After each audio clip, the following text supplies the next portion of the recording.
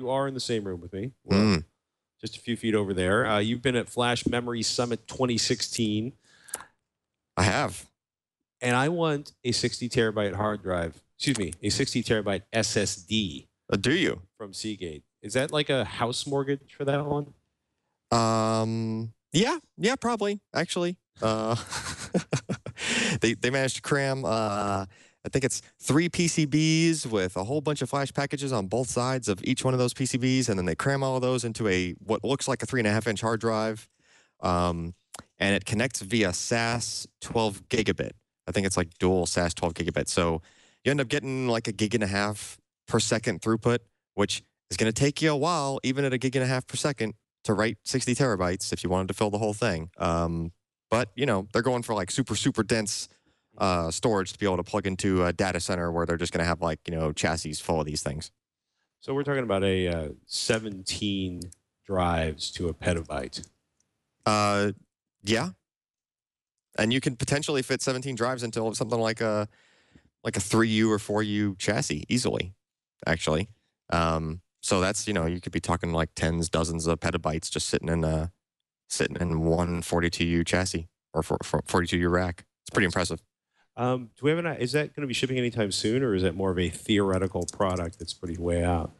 Um, I think they were doing it more as a theoretical thing. Didn't look like they were ready to ramp up and do you know crazy volume shipment, but it's definitely a conceivable thing. It it could happen. Um, we're just not sure which way things are going to go as far as how. It, it, it all depends on how fast you need to connect to your storage Sure. versus just how much bulk storage you want. So the, this one goes more for the really low power consumption, yet a huge amount of storage. Like this thing idles at like four watts, and I think active it's only like 15 watts. And that's similar to what regular hard drive territory is, except it's 60 terabytes of flash. So uh, pretty impressive. It's pretty crazy when you think about it. The the idea. It's. I mean, it's fairly dense. It looks like it's maybe the size of a couple three three and a half inch hard drives. Um, yeah, I mean, uh, well, I mean, there's there's for regular hard drives, there's uh, I mean, you're up to 10 terabytes now, Right. Probably 12 soon. Um, but still, when it comes to random performance, I mean, you just can't compare hard drives to flash at all. So, you know, this is a whole bunch of flash that you can randomly access super fast. Right?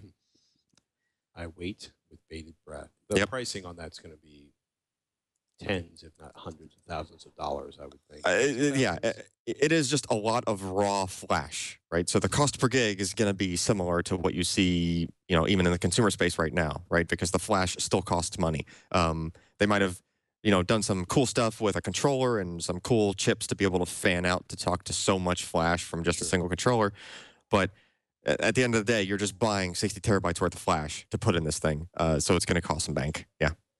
I'm sitting here like 60 times 1,000 times 0.25.